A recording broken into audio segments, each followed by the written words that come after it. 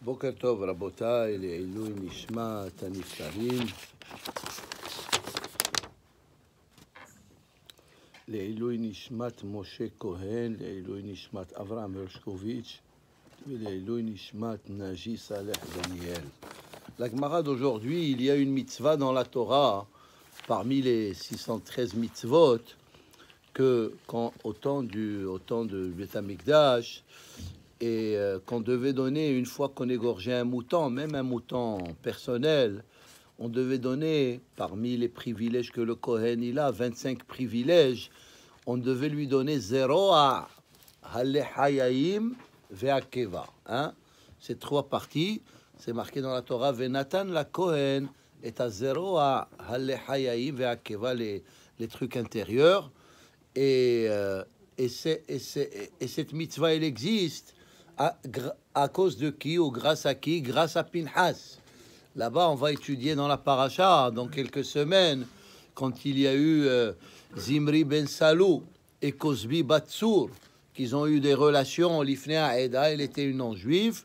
Vayar Pinhas ben El-Azar ben Aaron HaKohen, Vaikach Romach Beado, hein, Vaitkor et Shenehem. Il a, il a transpercé les deux. Alors, alors c'est ça, et c'est pour. Alors comment il, il les a, il les a tués? Il a pris Roma, alors, mais il a utilisé sa main. Hazeroa et parce qu'il a prié à Kadosh Baruchou. Vehakeva, parce qu'il les a transpercés à l'intérieur du ventre. C'est pour ça que ces trois, trois parties de l'animal, on doit les offrir au Kohen. Alors, c'est ça la, la, la Gemara. La Kohen, vela nochri, patur matanot. Si maintenant, c'est un shohet, et il égorge un mouton pour le, pour le Kohen. Alors, il y a pas, c'est- pas obligatoire parce que c'est lui-même c'est un Kohen. Ou bien, si un, si un goy, il demande à un juif de lui faire euh, la shehita, hein? Alors même si le juif il a, il a fait la shehita, il n'y a pas d'obligation parce que c'est un goy. Ça veut dire que ça dépend pas du shohet, ça dépend à qui appartient ce mouton. Dans le premier cas, il appartient au Kohen, étant donné que lui-même c'est un Kohen, il n'est pas obligé. Et dans le deuxième cas, c'est un Goy. Amar, Amar Rava, le- la Gemara, elle raconte, Rava, Badaklan, Rav Yosef, Hay Kahana de Hatif. Rav Yosef, il avait des, des Talmidim, et parmi ces Talmidim, c'était Rava. Et Rava, il raconte que son rabbin Rav Yosef, il testait les élèves pour voir s'ils connaissent bien leur, euh, leurs études. C'est marqué dans Harambam que le, le- le maître, le rabbi, il doit toujours tester ses élèves pour savoir s'ils connaissent bien, ils ont appris bien leurs leçons. Alors, quelle est la question qui lui est posée Hay kahana de hatif matanta. Hein, des fois au Kohen, des fois au Beth Amikdash, la Gemara elle dit euh, la kohanim. Ça veut dire des fois quand on égorgeait les moutons, euh, même à l'extérieur du Beth Amikdash et on offrait, on amenait ces offrandes au, au temple. Alors on les mettait, disons, dans un plateau et on donnait aux petits enfants de de les amener au Kohanim. Qu'est-ce qu'ils faisaient les Kohanim? Certains, boum, ils sautaient il sautait pour, euh, pour prendre. Hein? Alors, maintenant, la question comme ça. Hay kahana de hatif, ce Kohen-là, qu'il euh, arrache, hein, il attend pas qu'on lui donne. Il va lui-même, il prend le maximum. Est-ce que matnat ma euh, mitzvah, est-ce qu'on peut considérer ce- cet acte-là comme si il a, il montre la hashivut à la mitzvah, ça veut dire, il fait une bonne chose. Ou bien on peut dire, il est, en train de dégrader, qu'est-ce que tu as besoin de sauter Hein? Et euh, non, des fois, il n'y avait pas pour tout le monde. alors, alors c'est ça. Est-ce que c'est un hibouv mitzvah ou, c'est un zilzul be mitzvah Ou pashit nale Et on a répondu cette question. C'est marqué là-bas dans concernant cette mitzvah. Venatan la Kohen. Il faut que la personne, elle donne au Kohen. il faut pas que le Kohen il vient, il arrache lui-même. Venatan, velo sheitol me'atzmo. Il faut pas qu'il prenne ça pour lui euh, comme ça. Il faut qu'il attende qu'on lui donne. Amar Abaye, et maintenant la Gemara elle continue avec cette idée concernant d'autres choses. Amar Abaye, Abaye l'a dit, mais hatifna matanta. Au début, je, je, prenais comme ça les matanot keuna. Amina kamehabev mitzvah. Je me disais, le contraire, ça montre que l'importance de la mitzvah, tu aimes tellement cette mitzvah que tu, tu te précipites pour prendre. Mais dès qu'il a écouté cette halakha, que on ne doit pas prendre de soi-même, on attend qu'on nous, qu'on nous donne. Mehtaf la hatifna, je ne prends plus comme ça. Mais memar amre havouli. Mais je disais, donnez-moi, s'il vous plaît. Ça, c'est derech Ça veut dire, depuis qu'il a écouté la halakha, qu'il ne faut pas arracher, il attendait qu'on lui donne et il disait juste donnez-moi. Et même donnez-moi, on va voir, il a arrêté de dire. Parce qu'il a écouté un autre rabbin qui a dit une autre halakha.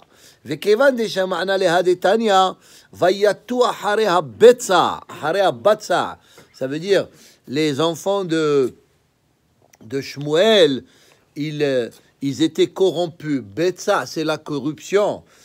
Shalom, on va penser que les enfants de Shmuel, ils étaient corrompus. Hein? Tu peux pas dire ça. Ils étaient des, ils étaient des, des Lévi'im.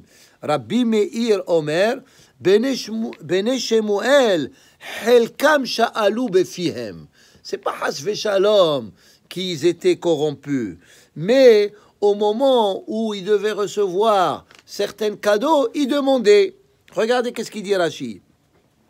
Helkam Sha'alu Befihem, de Megane Lehukra Libne Shmuel comme si le pasouk il dégrade les enfants de Shmuel en disant Vayatou Harea Betsa.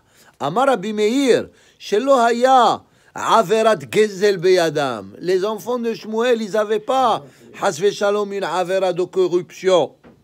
Et la Helek Leviim. Juste, ils demandaient la partie qui leur revenait parce qu'ils étaient des Lévi'im, Kegon. Maaser Rishon, Hayu Shoalim Befihem. Et même ça, la Torah, elle dit que comme s'ils ont, comme s'ils ont pris la corruption.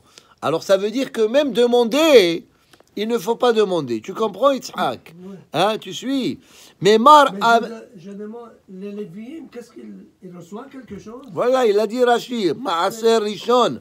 Il y, a, il y a des privilèges. Encore, euh, il y a des privilèges. Il y a des privilèges pour les Kohanim. Parce que les Kohanim, ils sont sortis des Lévi'im. Hein? Oui, mais il y a une partie aussi. Non, non, mais même il y a des parties que le Israël, il donne directement aux Lévi'im. Il y a des parties. Alors, depuis qu'il a écouté que ce qu'ils faisaient les enfants de Shmuel, parce qu'ils demandaient, la Torah leur considérait ça comme corruption, mais Mar Amar Anamela Amina, il a arrêté même de dire, donnez-moi, Ve'iyah vouli Shakilna. Mais s'il me donnait, je prenais, hein, naturellement. Hein. Maintenant, même ça, on va voir qu'il a arrêté. C'est marqué Hatsnu'im et. Regardez qu'est-ce qu'il dit Rashi. Ça veut dire ceux qui sont les, les Kohanim qui sont qui sont bons. Tsnu'im, ça veut dire ils sont pudiques, ils sont discrets, ils ont des midotovot. Rashi dit là-bas, Behiluk lechem apanim, parce qu'on distribuait le lechem apanim qu'on qu mettait sur le shulchan au temple, Kamar v'masechet yoma, hein, mishemet shimon atzadik nisha lechem lechem apanim. Alors, quand on distribuait les apanim, ceux qui étaient pudiques, moshrim et qu'est-ce que ça veut dire? Moshrim et ils ne prenaient même pas, parce qu'il n'y avait pas assez pour tout le monde. Alors eux, ils sont pudiques, ils prennent pas, ils prennent même si on leur donne, ils prenaient pas. Mosrin et Mais vers Gargeranim Holkin. Gargeranim, Echatam et Targem Gargeranim. Les gourmands, voilà, des gourmands, des gloutants. Hein? hein. Euh, alors, euh, Holkin, qu'est-ce que ça veut dire Holkin? Ça veut dire, il dit écoute, tout ce qu'on va, tout ce qu'on va prendre, on va partager. Aujourd'hui, toi, tu as pris plus que moi, tu vas partager à moitié. Hein? Holkin benehem. Et ça, c'est pas bon. Alors, ce Hacham, il dit, depuis qu'il a écouté cette halakha, Mishkal name la shakilna, je ne prenais même pas les vad mimma yoma de Kippura. À l'exception de la veille de Yom Kippour, il y avait beaucoup d'actions au temple, et beaucoup de, de- beaucoup de nourriture, parce que la veille de Kippour, on a dit, c'est quoi? C'est une mitzvah de manger toute la journée. Comme la Gemara elle dit. Alors, Kippoura, et pourquoi la, la veille de Kippour, il prenait les, les matanot.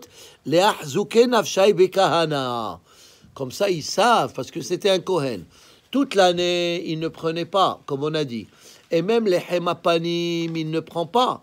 Alors les gens, ils vont oublier qu'il était Kohen. Il ne veut pas perdre son statut de Kohen. Alors au moins une fois par an, la veille de Yom Kippour, il prenait pour des. Ça veut dire, regardez, je prends pas toute l'année, mais je prends la veille de Kippour. Mais a encore à Pessah, c'est encore plus que ça. Avec Yom Kippour. Non, le Korban Pesach, c'était pour les familles qui l'égorgeaient, c'était pour la famille même. Hein. Il y a toujours des parties qui vont au Cohen, mais, mais la, la majorité, c'est pour le, le Israël. Vélifro, maintenant la Gemara pose une question. Si pour qu'on puisse dire qu'il est Cohen, Vélifro Siadeh, qui n'a qu'à faire Birkat Kohanim tous les jours, et le fait que tu fais Birkat Kohanim, ils, ils vont savoir que tu es Cohen. Font pas. Hein? Non, mais au Beth Amikdash, on le faisait tous les jours. Alors la Gemara, elle dit, elle dit Frosiade, mais ça, ça c'était en dehors du Beth Amikdash. Ansale Idane. Ça veut dire, la Gemara, elle dit, ce rabbin, il était occupé avec ses élèves, et des fois, il n'allait pas à la synagogue pour faire Birkat Kohanim. Alors, euh, Birkat Kohanim, c'est pas une solution. C'est pour ça que la veille de Ki- Kippour, il prenait. La Gemara, elle continue. Amar Rav Yosef. Maintenant, la Gemara, elle dit ici, malgré que ce privilège, il revient au Kohen, le Kohen, il peut décider de le donner à un Israël. Par exemple, si un Talmid Hakam dans son quartier, que vraiment euh, il est pauvre, il a des difficultés avec la Parnassa, quand on vient lui donner, il peut dire, et même sans qu'il le reçoive, le Cohen, il peut dire directement donnez-le au Israël. Alors c'est ce que la Gemara elle dit. Si un Cohen il a un Talmid Hacham bishvivute dans son quartier, et ce Talmid Hacham, il a des dahouk lo haparnasa, il a des difficultés avec sa parnassa, liskeleh matanta, il peut, le Cohen, prendre ce privilège et le donner au Cohen, euh, et le donner au Talmid Hacham. Ça veut dire, il y a des, des matanot kehuna, qu'on le Cohen, il peut pas donner ça euh, à quelqu'un qui est Israël. Il doit lui-même le prendre ou le donner à un autre Cohen, hein, comme les Trumot et Maasrot. Mais zéro ale Haïm vekeva, il peut la donner à un Talmid Hacham Israël. Ve'af lo. Même si le Talmid Hacham qui est Isra- euh, même, le, même si le Kohen, il n'a pas reçu, parce qu'on aurait pu penser d'abord le Kohen, il le prend, et ensuite il le donne au Israël. La Gemara, elle dit non. Même si le Kohen l'a pas reçu, il peut directement le diriger vers le Talmid Hacham. La Gemara, elle dit, Bemakire kehuna velevia. Et cette halakha, elle s'applique Bekohen shayani karba'ir. Ça veut dire un Kohen qu'il est connu dans la ville. Verov bne Adam ohavim oto. Venot nimlo hamatanot. Et beaucoup de gens, il apprécie, il lui donne matanot keuna. Ou beoto Kohen amrinan. Deachol les zakot ma'asrotav leachar. Delo ataleado. Afal gav delo ataleado. Pourquoi? Parce que c'est un Kohen qui est connu. Mais si c'est pas un Kohen qui est connu, il faut d'abord qu'il le reçoive Lui, il le donne. Et ensuite il le donne. Pourquoi? Parce qu'un Cohen connu, les gens ils savent que c'est un Cohen et lui il veut le donner. Mais si c'est pas un Cohen connu, on va dire regarde qu'est-ce qu'il fait ce juif, il donne les matanot keuna à un Israël, il doit les donner au Cohen. Ok, la Gemara elle continue. Rava verav Safra, écoutez cette histoire. C'est deux hachamim. Ikle'u le bemar Yohana bereh de Rav Hanna bar Adda. Il y a une discussion qui, qui sont ces, ces personnages. Avda lehu. Alors ce hacham il leur a fait comme un bon repas. Eglatilta. Un bon veau. Hein? Egel Meshulash. C'est ce qu'ils disent. C'est quoi Tilta? C'est le troisième de sa maman. Ça veut dire que le veau, quand il, a, quand il accouche un bébé, le premier, il n'est pas très, très, il n'est pas très bon, ni le deuxième, mais le troisième bébé qu'il accouche, c'est le meilleur. Et il a, il a une, une c'est comme des fois, tu plantes un arbre au début, les fruits, ils sont pas, ils sont pas bons. Alors la même chose, il, euh, il, a, il leur a fait ce bon plat de Hegel Meshulash. Am, Amar le Rava le. Alors Rava, qui était un invité, il a dit au Shamash. Le Shamash, il était Kohen lui-même. Le Shamash, qui est le, serveur. Le Sham'eh. Zakeli Matanta. S'il te plaît, c'est ce que tu peux me donner les Matanot Keuna, ça veut dire ces trois parties. Lui, il était un Talmid Hacham et le Shamash, il était un Kohen. Il lui dit si tu peux me les donner. Pourquoi? Des ba'en ale mechal, parce que j'ai envie de manger lishna behardela. Je veux manger La langue. Hein avec du bon. euh, la moutarde. Il a appris ça de qui? De Avraham Avinu. Hachamim ils disent, quand les malachim y sont venus, il leur a égorgé trois moutons pour donner à chaque. En réalité, c'était des malachim, mais Avraham Avinu, il ne le savait pas. Et pourquoi trois moutons pour trois invités? Pour qu'ils puissent donner à chacun une langue entière avec la moutarde. Alors la moutarde, hein, Heinz et tout ça, ils ont existé depuis le temps de Avraham Avinu. Maintenant, on a dit une fois, est-ce que Avraham Avinu, c'est quelqu'un qui court après le matériel, qui va la moutarde et le et, et la mayonnaise et le ketchup Est-ce que des tzadikim ils mangent ça? Qu'est-ce qu'ils mangent des tzadikim? Pat euh. Mais ça veut dire Avraham Avinu, c'était pas pour lui. Ça veut dire Avraham Avinu, il, il excellait tellement dans cette euh, mitzvah de Achnasat Orhim que si quelqu'un y vient, il lui demande, il veut de la moutarde. hein, voilà, il a la moutarde. C'était pas pour lui, c'était pour les invités. Alors la même chose, ce, ce rabbin là-bas, hein, ce rabbin, il mange, euh, il voulait manger une, euh, la, euh, Elga, euh, c'est ça, il voulait manger la langue avec de la moutarde. Ben. Alors le shamash, il lui a dit, ok, je te donne, je te donne cette partie. Rava achal. Rava, il a mangé du shamash. Rav Safra le achal. Rav Safra, il n'a pas, il n'a pas voulu, il n'a pas voulu manger. Hein? Pourquoi il n'a pas voulu manger? Qu'est-ce qu'on, Comment on peut expliquer ça? Hein? Parce que on peut dire qu'il lui a pas donné, hein? Parce que c'est lui, c'est le rabbin qui s'est imposé pour qu'on lui donne. Alors le soir, Rav Safra, il a rêvé. Peut-être c'est, c'est la moutarde qu'il a mangé qu'il a fait. Ah, ils lui ont dit un pasouk négatif. Hein? Ma'ade, beged, beyom kara, hometz al nater, ve- veshar, bashirim, al levra. Ah, voilà un pasouk, tout un pasouk dur à traduire. On va essayer de le traduire. Rachid dit, Ma'ade, beged, qu'est-ce que cela veut dire? Beged baloui venirkav. Hein, si tu mets un habit qui est déchiré et qui est usé, comme les jeans qu'ils mettent aujourd'hui, c'est Beged balou. Kemo, kemo beged ediam, be'et hakor. Si tu mets cet habit qui est usé et qui est et qui est dégradé, be'et hakor enosh avec l'oum. Hein, si tu mets un manteau comme ça, hein, euh, avec le froid, euh, il va rien te servir. C'est ce que le passou qui dit. Ma'ade beged, ça veut dire un beged usé. Beyom kara, beyom sheyeshkor, il ne vaut rien. Et il vaut Kemo hometz al neter. Comme si tu mets, c'est quoi hometz Hometz, c'est le vinaigre. Et, et- et c'est quoi neter hein? Non, neter, ici il dit, c'est comme, euh, c'est comme un genre de, de savon. Hein? Ça veut dire, peut-être dans leur temps, on voulait mélanger euh, euh, le netter avec le hometz avec le netter pour qu'il il soit plus efficace, mais ça veut dire que le, le, vinaigre, il ne va pas aider pour mieux laver les habits. Veshar bashirim alev, ken shar bashirim alevra, ken haomer divre Torah, lemi sheeno yodea leavinotam. Ça veut dire des fois, ça veut dire Shlomo Amelech, il compare ce, ce, cet habit usé qui ne sert à rien quand il fait froid c'est comme si tu enseignes la Torah à, un élève qui n'est pas à la hauteur.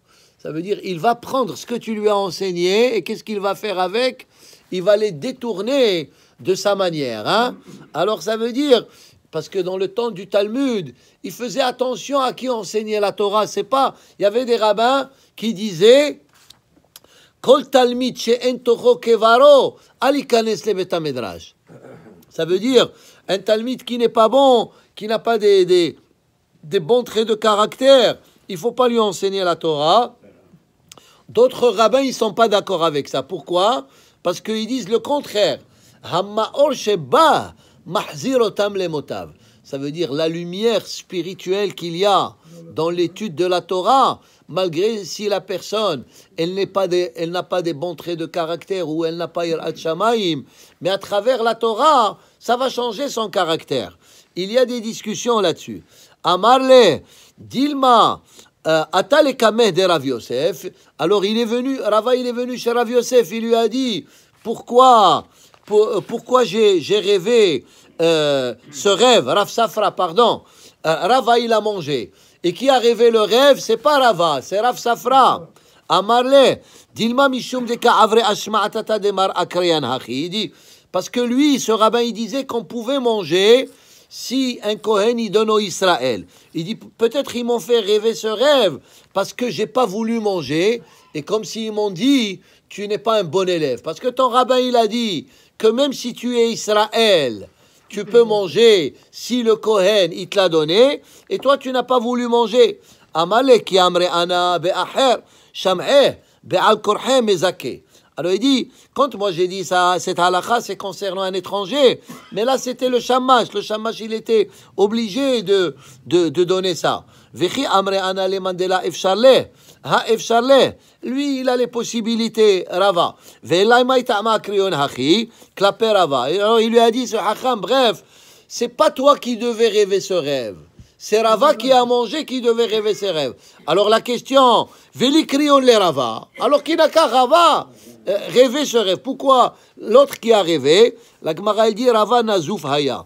Rava il a fait quelque chose de pas correct. Rashi dit qu'il a demandé la pluie au moment où est-ce qu'il fallait pas demander la pluie. Et comme si Mina Shamaim, ils l'ont mis en, en harem. Parce que vous savez que le rêve, comme on a dit, c'est comme une névoa. C'est comme si Hachem, il s'adresse à nous, il nous transmet des messages. Naturellement, on n'est pas des tzadikim pour comprendre qu'est-ce que Hachem nous transmet dans le rêve. Mais des tzadikim, c'est comme euh, Yosef Hatzadik, c'est révisité de, de la névoa. Et comme euh, Yaakov Avinu, le rêve du Soulam, ainsi que d'autres tzadikim. La Gemara, elle continue. Alors la Gemara elle dit, et ce pasouk de quoi il parle? Il faut faire attention de ne pas enseigner la Torah à un élève qui n'est pas à la hauteur de comprendre les messages de la Torah. Des, ou bien il va les, les détourner, les détourner d'une façon négative. De amarav Yehuda amarav. Kol talmid hagun nofel begeinam. Tout celui qui enseigne à un élève qui n'est pas Hagoun, il va tomber dans le Geinam. Et aussi pour le Rav, il faut aussi apprendre la Torah d'un Rav qui est Hagoun. La Gemara dit Im harav dome le malach Hashem tsevaot, Torah mipihu. Ça veut dire un malach, il faut qu'il soit, un Rav, il faut qu'il soit un exemple de comportement comme un Talmid Hacham.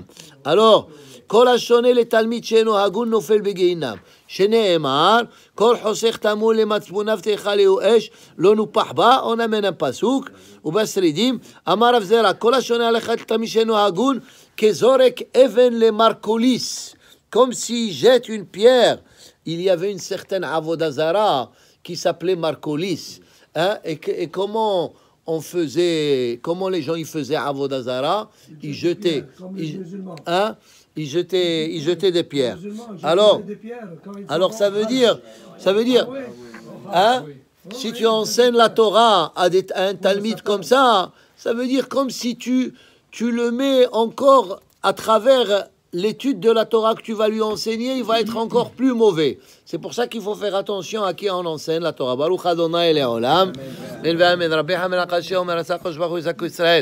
לפיכך ריבה להם זו נשמע אמץ מעט כה יגדיל תורה וידיר, יתגדל.